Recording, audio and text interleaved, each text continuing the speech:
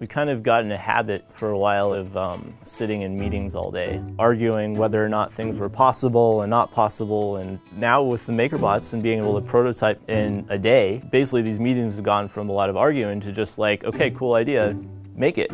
I can draw up a design, import it, and print it out that same day, find out whether it works or not, make changes to it, and print out the next version of it before the end of the day. Something that we couldn't ever have done before. Every time we print a component, we're having a meeting. So it's not even a meeting, it's just a discussion. And we get to make the changes basically instantly. Two years ago, my prototype budget was probably ten to twenty thousand dollars, and from that you would get two to three really good mock-ups. Now we basically can print out a prototype of something within two hours. We have an idea, we draw it up, we print it out, and we can hold it in our hands and show it to everybody.